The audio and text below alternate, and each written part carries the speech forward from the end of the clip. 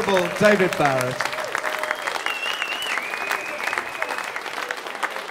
And it's like a freight train, you know, it just gets going. It's hard to stop it. Olivier, can we, let's, let's, round of applause for Olivier. Let's bring him to the bandstand.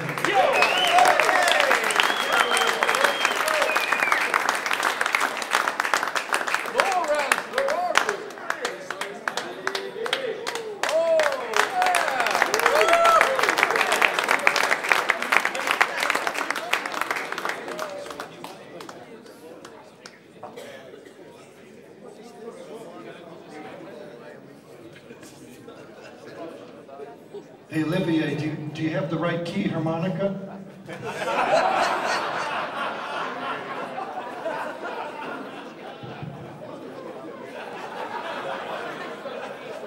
How about